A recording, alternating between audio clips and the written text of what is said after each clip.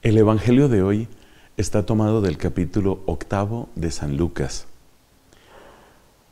Tiene tres frases o enseñanzas o pensamientos de Cristo y en esta oportunidad yo quisiera que nos concentráramos en la primera.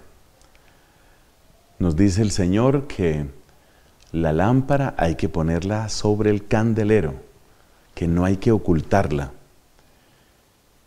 Y curiosamente dice, para que alumbre a los que entran en la casa. ¿Cómo podemos entender y aplicar este dicho del Señor?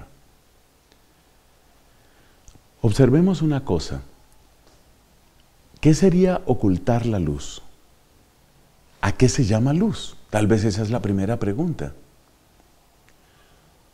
Llamamos luz, nos dice Santo Tomás de Aquino, a todo aquello que muestra un camino que ayuda a discernir, a distinguir.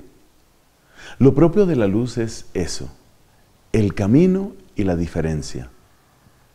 Y por eso el conocimiento, las ideas, la inteligencia se asocian con la luz.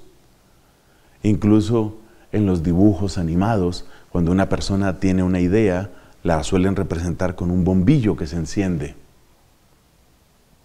Entonces, la luz tiene que ver con la inteligencia, tiene que ver con el conocimiento, tiene que ver con la verdad. La luz que muestra el camino también tiene que ver con lo que es correcto o es incorrecto.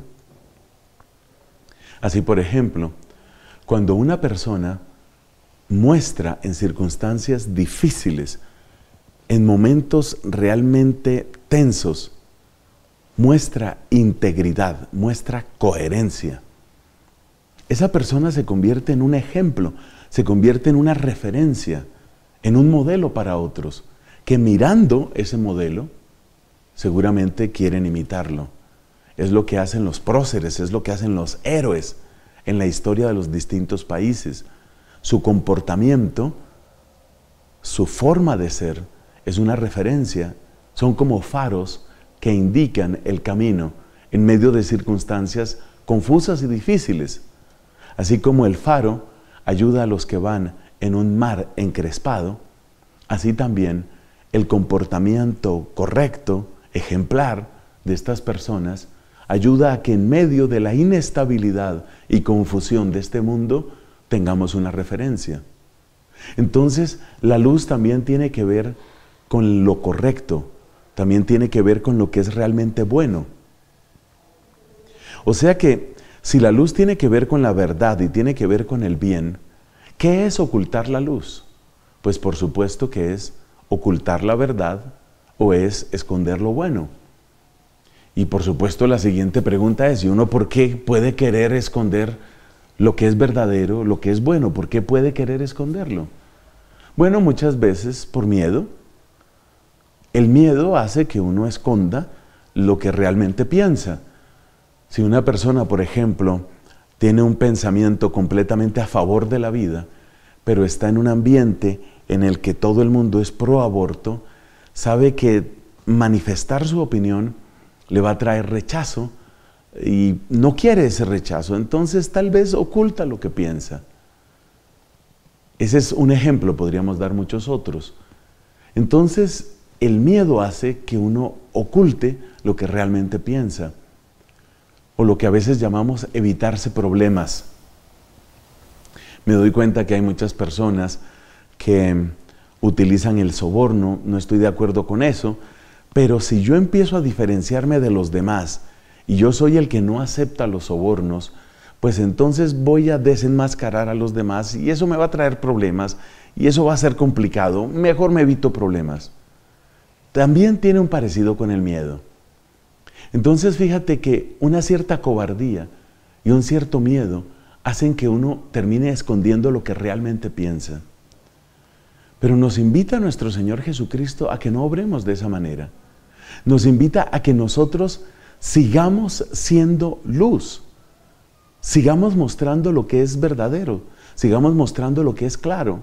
Y dice que eso es lo que necesitamos para cuando entren en la casa Una de las interpretaciones que dan los padres de la iglesia cuando se habla de la casa es la iglesia. Y es muy interesante que Cristo diga que la luz tiene que estar a la entrada.